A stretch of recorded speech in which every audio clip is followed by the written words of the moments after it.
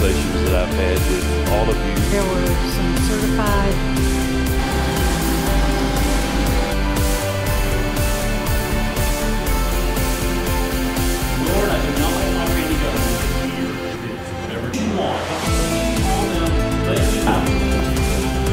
We're going to collect these, so yeah, good. Invest in our people, and we're investing